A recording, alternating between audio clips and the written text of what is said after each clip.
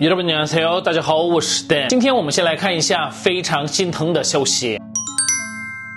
十月一号，一位男主播通过直播进行了酒播，就是一边喝酒一边与观众们聊天的形式。然后喝醉酒的他准备在床上进行睡播的时候，他当天领养的小狗狗也躺在他身旁了。因为韩国很多直播主都会进行这种睡播，就是开着直播睡觉，所以这位男直播主与小狗狗的睡播也是没有什么问题的。但是没过多久，睡着的男直播主的身体慢慢的往狗狗的方向倾斜，结果完全就压在狗狗的身上了。被压到的小狗狗有一直在叫，但是男直播主好像是完全听不到小狗狗呻吟的声音。连续持续了数十分钟，让看直播的观众们都感到非常心疼、非常惊讶。之后有另外一位直播主急忙来到他家叫醒他的时候，被压在下面的小狗狗一动也不动，就这么离开了。因为在进行睡播前，很多观众们都有留言给他，让他不要把狗狗放在床上，太危险了。但是他没有听进去，所以这件事情真的是引起了网友们的公愤。然后到了第二天，这位直播主打开直播对观众们说，已经帮狗狗火化了，都是我的错，是因为喝太多没有精神，我也是非常怨恨我自己，我这一生都会反省的。来看一下。韩国网友们的反应啊，是吧？怎么能有这种家伙？就跟买东西一样的随便买卖生命，所以才会发生这种事。好伟大的家伙，竟然在领养当天就喝酒开直播，结果压死他。你为什么要用这个姿势睡觉呢？不管你是失误还是故意，都希望能负责任接受惩罚。不要再说废话了，你就是杀人犯。但是也有网友表示，不是故意的，也道歉了，所以不要再攻击了，以后多去帮助流浪狗，好好的反省吧。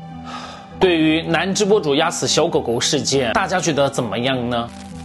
下一个消息是，乔英与 Blackpink 极所主演的电视剧《侧钢化》确定从十二月开始播放，并公开了预告海报。因为之前这部戏引起过扭曲民主化运动的历史，美化当年安琪波部长形象的争议，所以这个确定播放的新闻也引起了网友们的热议。真的要播放这个？想要变成跟楚村古玛彩一样吗？希望不是去年透露的那个剧情，要不然真的被骂的那么惨，剧情应该有所变化吧？因为女主粉丝很多，所以电视剧的剧情如果有问题的话，这影响力真的是非常大，所以真的很担心。但是也有这样的反应，好期。不管制作组怎么说明，也想要用各种不像话的理由来找茬。神经病们为什么要活成那样呢？应该要先看了再说吧，不要只看论坛后被带风向，要自己看自己判断。所以大家期待这部戏吗？我期待，我期待，我期待。